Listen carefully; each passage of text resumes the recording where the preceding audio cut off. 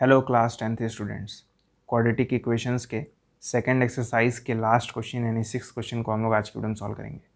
Question है a cottage industry produces a certain number of pottery articles in a day मतलब कोई article बना रही है आर्टिकल आप बुक समझ सकते हैं कि सर्टेन नंबर ऑफ़ बुक्स बना रहे हैं, ठीक है, एक दिन में।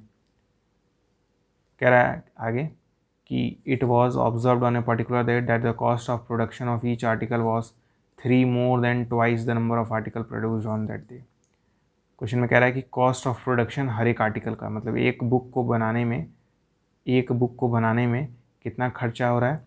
Three more than twice the number of articles three more than twice the number of article ये बहुत बड़ा हिंट है, ठीक है?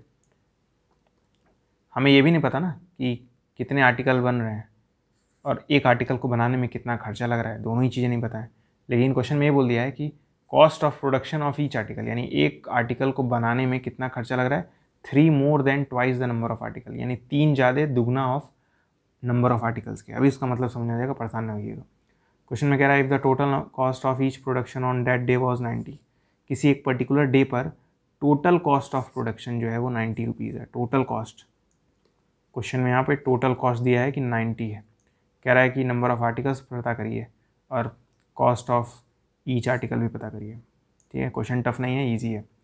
देखिए सेम टाइप का क्वेश्चन मैंने इसी एक्सरसाइज के सेकंड क्वेश्चन के सेकंड पार्ट में बताया था। क्वेश्चन नंबर टू इसी एक्सरसाइज का पार्ट टू उसको देख के आइए, आपको ये वाला क्वेश्चन हंड्रेड परसेंट समझ में आएगा। डिट्टो सेम है। वहाँ पे टॉय बोला था और यहाँ पे आर्टिकल बोला है। बस इतना ही बदला बदला है क्वेश्चन में। वहाँ पे टॉय बोला था और यहाँ पे आर्टिकल है। Question number two part two ठीक है? आपको प्लेलिस्ट का लिंक मिल जाएगा। आप जब आ, मेरे चैनल पे जाएँगे क्वेश्चन वाइज प्लेलिस्ट देखिएगा तो वहाँ पे आपको आ, मिल जाएगा। तो इस क्वेश्चन का आंसर इस टाइप का क्वेश्चन जो है वहाँ पे मैंने कराया है। तो पहले वो देख के आइए तभी इस क्वेश्चन को सॉल्व करिएगा। अगर आपने नहीं देखा है तो। जिन्होंने देखा होगा उनको समझ में आ रहा होगा कि क्वेश्चन आसान है टफ नहीं है। देखिएगा। हमें ये तो नहीं पता ना कि कितने बुक्स बन रहे हैं कितने आर्टिकल्स बन रहे हैं। तो हम लोग मान लेंगे कि नंबर ऑफ़ आर्टिकल्स जो हैं वो एक्स हैं। नंबर ऑफ़ आर्टिकल्स क्या हैं? एक्स हैं, ऐसा मैंने मान लिया। ठीक है?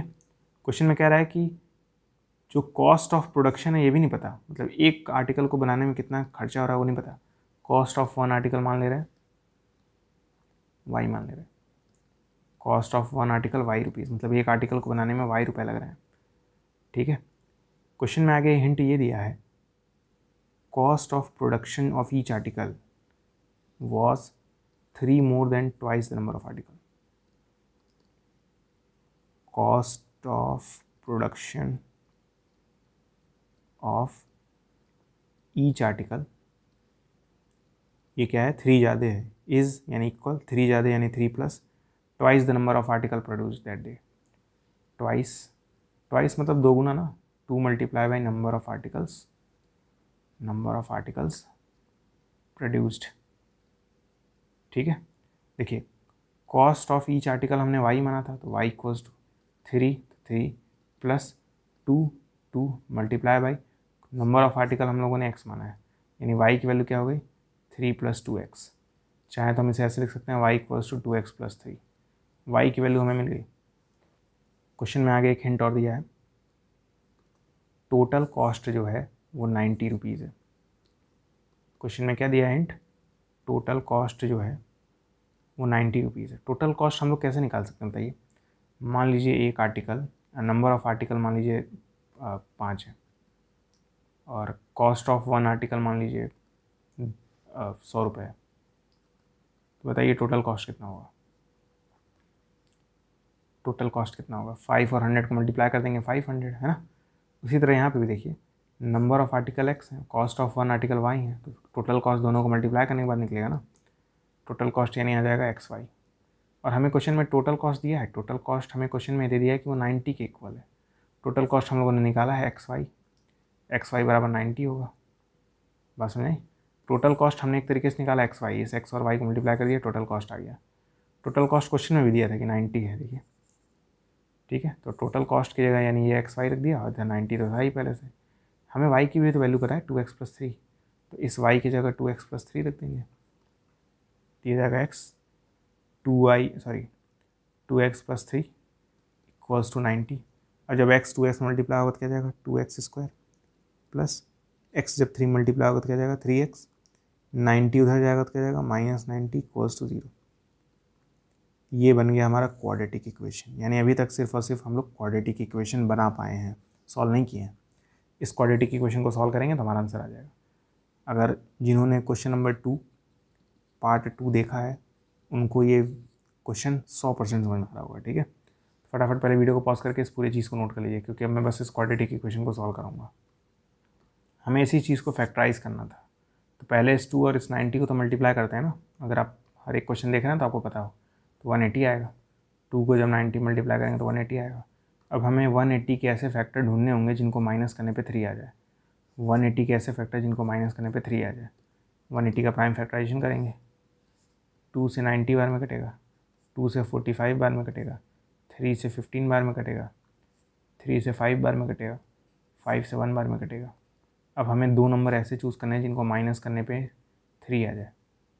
ऐसे फैक्टर्स वन एट्टी के ऐसे फैक्टर जिनको माइनस करने पे थ्री आ जाए। तो दो नंबर ऐसे चूज़ करने हैं जिनको माइनस करने पे थ्री जाए सोचिए क्या होंगे वो दो नंबर्स बहुत ईजी है। इन तीनों नंबर्स का इस्तेमाल करके एक नंबर बनाइए। तीनों का इस्तेमाल करेंगे तो क्या बनेगा? ट्वेल्व ट्वेल्व को यहाँ लिख दीजिए। फाइव और थ्री का इस्तेमाल करके फिफ्टीन बना लीजिए फिफ्टीन को जब ट्वेल्व माइनस करेंगे तो थ्री आएगा। यानी इस थ्री की जगह में फिफ्टीन माइनस ट्वेल्व लिखना होगा। तो जाएगा फिफ्टीन माइनस ट्वेल्व फिर एक्स माइनस नाइन्टी बराबर ज़ीरो कई लोग ये एक्स लिखना भूल जाते हैं तो ध्यान दीजिएगा। और ये प्लस साइन भी है। तो जाएगा two x square plus fifteen और ये एक्स मिल के क्या जाएगा? फिफ्टीन एक्स माइनस ट्वेल्व और एक्स मिल के ट्वेल्व एक्स हो जाएगा। माइनस नाइन्टी कॉस ज़ीरो ठीक है? इन दोनों में कुछ कॉमन नहीं है, सिवाय एक्स के तो एक्स कॉमन आ जाएगा तो क्या मिलेगा हमें? टू एक्स प्लस फिफ्टीन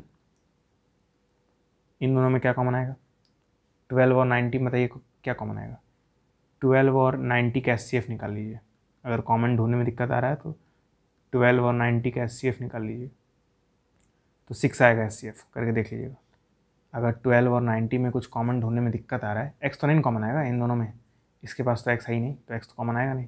तो ट्वेल्व और नाइन्टी में ही हमें कुछ कॉमन ढूंढना है तो उसके लिए एफ़ निकाल लीजिए एस सिक्स आएगा, निकाल के देख लीजिएगा। तो यानी ट्वेल्व और नाइन्टी में सिक्स कॉमन आएगा। हाईएस्ट कॉमन फैक्टर एस मतलब होता है। तो जब भी कॉमन ना मिले तो एस निकाला करिए। तो यहाँ पे आगे सिक्स आएगा।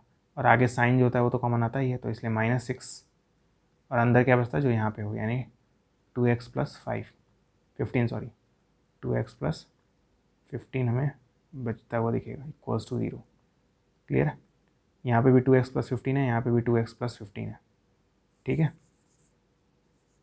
इन सबको मिटा दे रहा हूँ। उम्मीद करता हूँ आप लोग नोट कर चुके होंगे।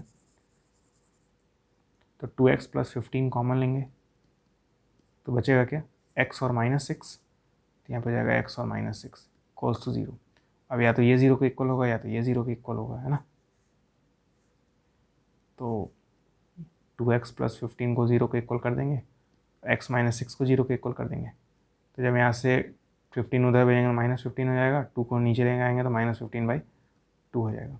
माइनस सिक्स को उधर भेजेंगे तो क्या जाएगा? प्लस सिक्स तो एक्स की वैल्यू आ जाएगी सिक्स दो वैल्यूज़ आई हैं, एक नेगेटिव है एक पॉजिटिव है। नेगेटिव वाला लेंगे नहीं, क्योंकि नंबर ऑफ़ आर्टिकल नेगेटिव कैसे हो सकता है?